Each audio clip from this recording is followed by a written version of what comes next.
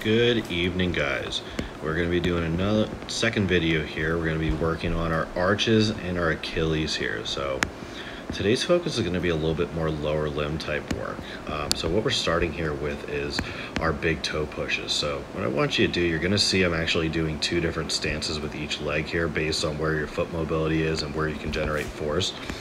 I want you to find that button right on the tip of the big toe and I want you to push that button hard into the ground and maintain tension as you kind of flex through this big toe position here and try to take that big toe through its full range of motion. Now, the closer you get underneath your midline, the easier it's going to be as you work your way back further here. This is going to take a little bit more, a little bit more advanced as your foot starts opening up a little bit more. Okay, so this one's pretty hard. Um, this one's hard if you've never used your big toes before. It's going to be a little difficult.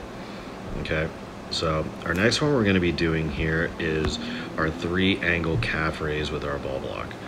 So now this one here is going to be locking the ankles in position. It's going to be helping you to centralize that ankle in the middle of the lower limb, little uh, the lower limb bone.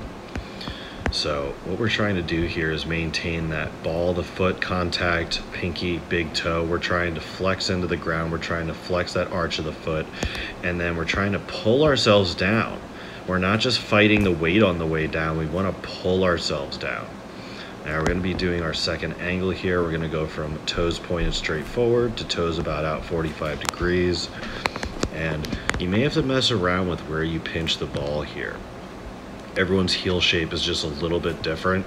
And you also want to try to keep the knees slightly internally rotated here as to line up over top of the ankle. Um, don't let yourself fall too far in external rotation or even with the ball block your ankle's gonna you're gonna get into the outside of your uh, calf and you're not really gonna use everything equally. Um, then we kind of defeat the purpose of the drill. So the next one that we're to be moving into here is almost our plie here. So this is the one where you're going to have to mess around with some ball positioning here. And you want to try to get it where in a spot between your heels where you definitely feel like you're going to be able to generate some force and pinch as hard as you can, fire the hamstrings, try to slightly keep the knee over top of the ankle here, uh, keeping everything engaged. So what we're going to do here see we work through here and try to make sure everything fires equally. So trying to explore and find those different portions of the calf here, different portions of the arch of the foot. Make sure that we're working on all of our lateral parts of the foot as well. See right here, I'm making my knee adjustments, making sure I'm keeping everything together. Don't lose the ball. And now we're gonna transfer over here into our calf raise decels. So what we're gonna do here is we're working on pulling ourselves into the floor again. So you're gonna start in your ankle extended position. You're gonna find big toe, ball the foot, pinky toe, try to get that power triangle right at the tip of the foot, including all the toes, pretty much the back line from the ball of the foot over the pinky forward. We want to try to get all of that engaged to the book here in our extended calf position. And then we want to learn, we want to flex into the calf here and pull the calf down, trying to load the arch of the foot. Um, this is also going to help a lot quite with shin splints, just because the fact that most shin splints come from immobile tissue on the front side of the leg and kind of a little bit um, under activity of being able to pull that toe up. Um, this normally can come from some tight plantar fascial tissues around the heel as well. So we just want to make sure that we're trying to pull ourselves down in enough of a pattern here and not too fast. We don't want to just drop and snap down to the ground, but we want to make sure we're controlling this portion of the movement so we get to learn to go both directions. Next one we're going to move into here is we're going to be setting up that power triangle right on the end of the foot there, right on our book. And you're going to try to maintain your three points of contact here. So you want to think about the big toe and the ball of the foot, the pinky toe, and then you want to think dead center of the heel here. Now, I like to hold on to something when I'm first starting off with these just because the fact that this is a little uncomfortable range getting working into the different portions of the arch of the foot here. Um, so you may need just something for a little bit of balance.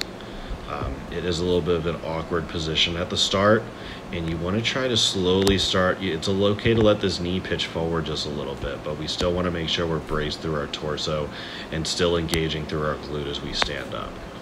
Now we're going to switch over to the legs here. My imbalances are a little bit different on my feet than some people's are. Everyone's are a little cocked differently. Um, from but from what I've seen, a lot of people tend to have a slightly collapsed in right arch and then they normally have a pretty strong left arch or a super shut down left arch, which is kind of a little rolled outward, um, which is going to kind of change how everything patterns up the torso. It's going to affect the adductor development. It's also going to affect your abdominals because the adductors, hamstrings turn into the pelvic floor. Um, so it kind of this is very important of being able to keep this foot engaged as you move through your pattern here. Um, and this is where a lot of our balance comes from, being able to keep that foot suction cup to the ground.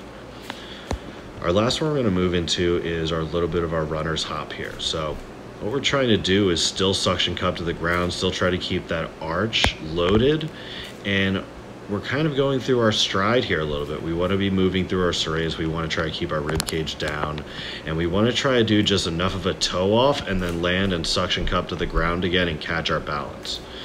And that's about all we're going to be working on today, guys. Give these things a try. See how your arches and Achilles start feeling.